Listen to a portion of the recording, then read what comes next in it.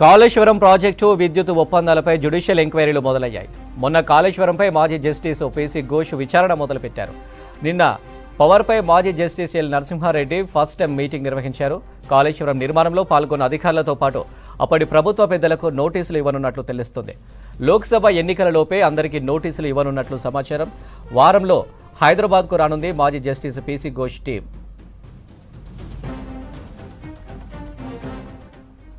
ఇక మరింత సమాచారం యాదగిరి అందిస్తారు. యాదగిరి కాళేశ్వరం విద్యుత్ ప్రాజెక్టులపై విచారణకు సంబంధించి అప్డేట్స్ ఏంటి?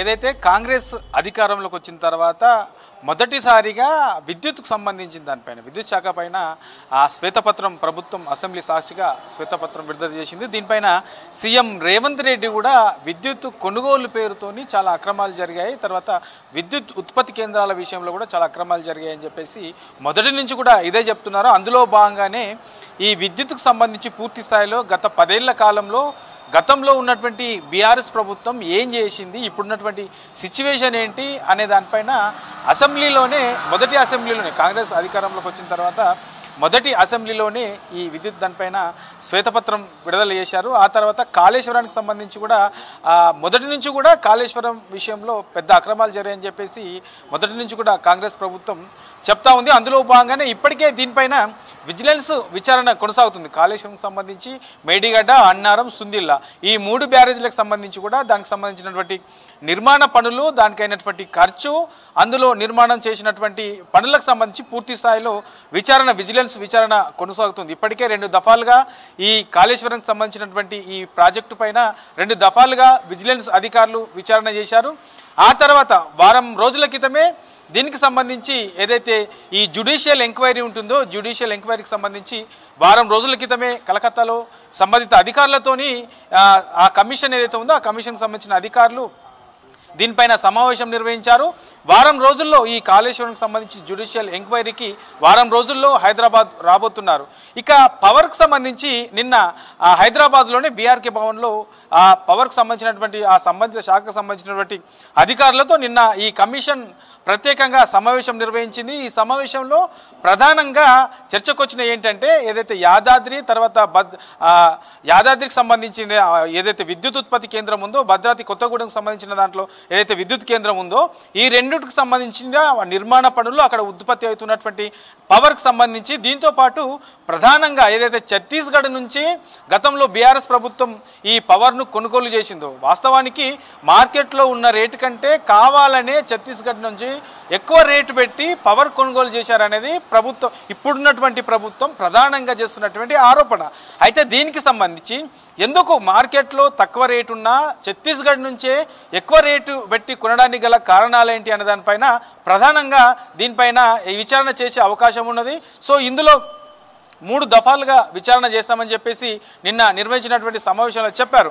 మొదటి దఫాలో ఇప్పుడున్నటువంటి అధికారులతో సమీక్షలు నిర్వహించడం ఆ తర్వాత దానికి సంబంధించి ఏం జరిగింది అనేది ఈ ప్రజెంట్గా ఉన్నటువంటి అధికారులతోని అడిగి తెలుసుకోవడం ఆ తర్వాత రిటైర్డ్ అధికారులు అంటే గత ప్రభుత్వ హదా హాయంలో చాలామంది కూడా రిటైర్డ్ అధికారులకు సంబంధించిన వాళ్ళే మేజర్గా కీ రోల్ పోషించారు. సో వాళ్ళందరినీ కూడా రెండో దఫాలో పిలిపించి ఎందుకు ఇంత కొనుగోలు చేయాల్సి వచ్చింది? తర్వాత ఇప్పుడున్నటువంటి ఈ యాదాద్రి తర్వాత భద్రాద్రి దాంట్లో కూడా ఈ ఉత్పత్తికి సంబంధించినటువంటి ఈ కేంద్రాలలో దీనికి సంబంధించి ఆ ఎంత కొనసాగుతా ఉన్నది.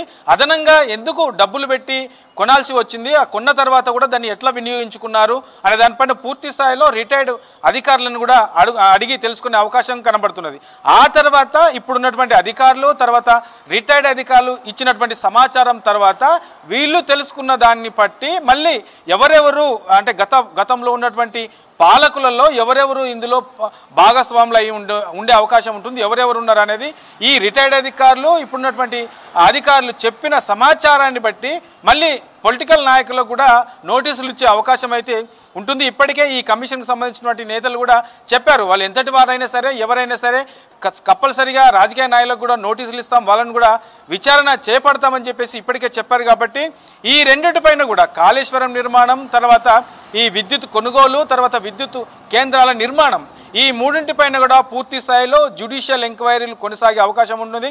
దీనికి సంబంధించి ఇప్పటికే ఈ ఏదైతే కమిషన్లు వేశారో ఈ కమిషన్లకు సంబంధించిన అధికారులు కూడా దీన్ని చాలా స్పీడప్ చేశారు. సో వారం రోజుల్లో రెండు దఫాలుగా రెండు కమిషన్లు కూడా హై- హైదరాబాద్ వచ్చి హైదరాబాద్లో ఉన్నటువంటి అధికారులతో సమావేశాలై ఆ తర్వాత ఈ దీని వెనుక ఎవరెవరు ఉన్నారు ఎందుకు కొనుగోలు చేయాల్సి వచ్చింది? సో దీంట్లో ఉన్నటువంటి అక్రమాలు ఏంటి అనే దానిపైన పూర్తి స్థాయిలో ఎంక్వైరీ చేసి దానికి సంబంధించి వంద రోజులైతే డెడ్ లైన్ పెట్టుకున్నారు. వంద రోజుల్లో పూర్తి స్థాయిలో ఎంక్వైరీ చేస్తాము.